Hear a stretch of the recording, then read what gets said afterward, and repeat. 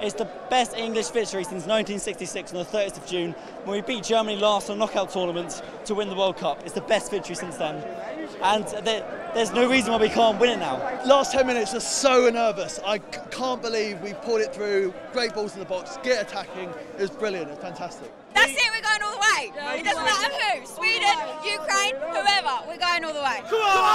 Get in there!